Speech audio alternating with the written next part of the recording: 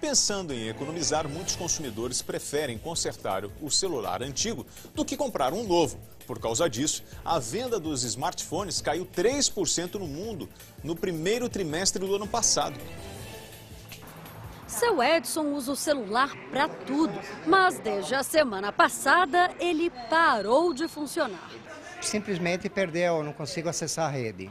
E a falta do aparelho está dando um trabalho. Sou obrigado agora a andar com um caderno de baixo e ficar procurando nome por nome. O jeito foi procurar uma loja de conserto. É que, por enquanto, comprar outro não está nos planos.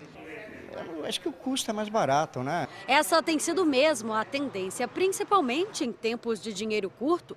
De acordo com o último levantamento de uma empresa de pesquisas, a venda de smartphones caiu 3% no mundo todo.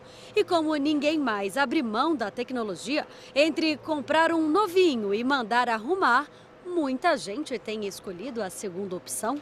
Para você ter uma ideia da procura pelo serviço, esta loja foi aberta há menos de um mês aqui na zona oeste de São Paulo. E apesar de tão pouco tempo, três celulares por dia foram consertados por aqui.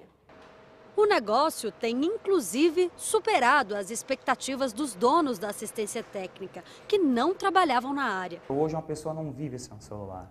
Então foi apostar num ramo que está crescendo muito no Brasil. A procura é muito grande por conserto celular.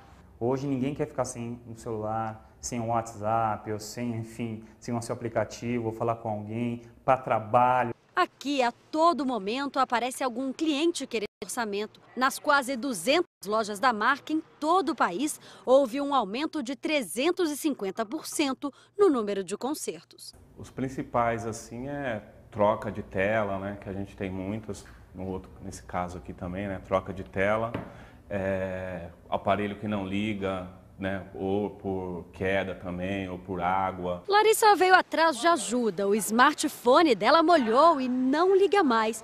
Não precisa nem dizer como ela está, né? Desesperada. E como ela não vive sem o celular até ele consertar, Clarissa já tratou logo de conseguir um emprestado. Acho que o meu celular ele ainda está muito bom, né? Ele estava muito bom, ele não tinha defeito nenhum. Às vezes dependendo do preço, compensa mais você arrumar do que comprar um novo. Um novo hoje, tá, dependendo da marca, tá bem caro. A mentalidade da indústria do telefone celular é fazer ele se tornar mais resistente, é, acabar com, com aqueles defeitinhos bobos. Você pode ver que celular hoje é difícil dar um defeito, né, daqueles de ficar travando.